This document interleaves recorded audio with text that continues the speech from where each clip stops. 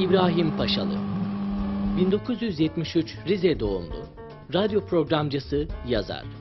İlkokula Beyoğlu'nda başlamış, liseyi Üsküdar'da bitirmiştir. Medya ve İletişim Sistemleri bölümünden mezun olmuş, 15 yıl boyunca Gece Yürüyüşü adını taşıyan bir radyo programı yapmıştır. Açık Radyo'nun kurucuları arasında yer almış, aynı radyoda program yapmıştır. Bir süre Milli Gazete'de de köşe yazarlığı yapan Paşalı, ilk kitabı Öğle Uykusunu 2002 yılında, ikinci kitabı İstanbul Kriterlerini ise 2003 yılında yayımlamıştır. Ne haber? Nasılsınız? Çok teşekkür ediyorum. Ee, genelde söylediğim gibi Allah bu günlerimizi aratmasın demeye devam ediyoruz. Ee, günler benim açımdan aslında sakin geçiyor. Çünkü ben genelde e, evden dışarı çıkmayan, hatta çocukluğumdan hatırladığım bir şeyle örnek vereyim. Benim çocukluğumda yaşlılar Anadolu yakasından Avrupa yakasına geçerken ben İstanbul'a gidiyorum derlerdi. Ben de uzun yıllardır Anadolu yakasında oturan bir insan olarak haftada bir iki kere İstanbul'a gidiyorum. Onun dışında genelde evde kendimle geçiyor ve herhalde bu da çok insana nasip olmayacak bir şey. Yani o yüzden sesimizi çıkarmayalım, iyiyiz. Gündeminizde neler var? Ahmet Cevdet Paşa'nın e, hatıratında yer alan ve unutulmuş e, bir hikayesiyle meşgulüm. E, Ahmet Cevdet Paşa'nın e, bir Bosna müfettişliği var. Daha çok hukukçu olarak, devlet adamı olarak ya da Mecelle Komisyonu'nun başkanı olarak tanınan e, Ahmet Cevdet Paşa'nın daha 40 yaşında yani kariyerinin başında ama olgun bir entelektüel, medreseli, e, olarak hayatını çizmeye çalıştığı bir dönemde e, çok zor bir bölgeye devlet adamı, müfettiş olarak e, o günkü tabiriyle fevkalade memur yani olağanüstü yetkilerle donatılmış bir memur olarak e, ateş hattına yollanıyor. Hikaye çok dikkatimi çekmişti. E, tesadüfen 1 liraya almış olduğum, indirimden almış olduğum e, bir kitapta e, bir bölümünü görmüştüm ben hikayenin. O hikayenin peşine düştüm kendi halimde.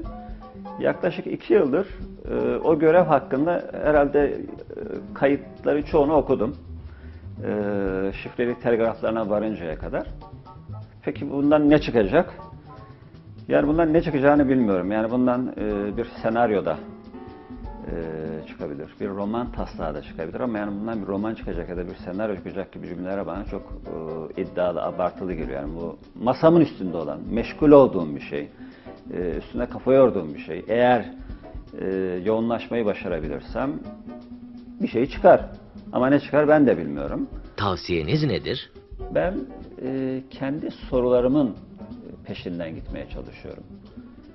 Açmak gerekirse bu da şu.